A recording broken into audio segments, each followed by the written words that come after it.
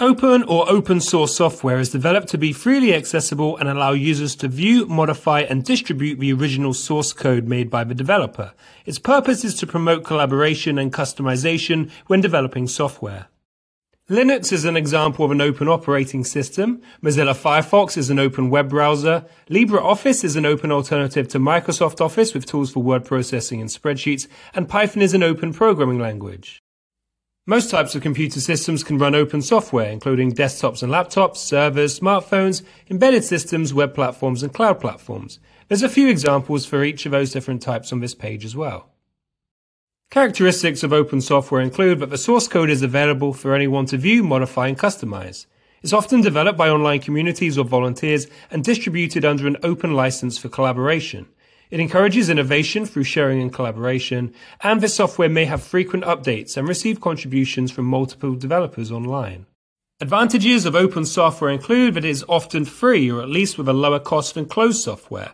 It's customizable to suit the users or a company's needs. There's transparent code for anyone to inspect for security or errors.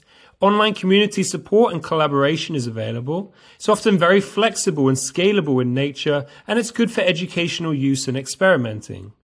Disadvantages of open software include that it may lack official support or warranty. The code quality and user experience may vary wildly from project to project.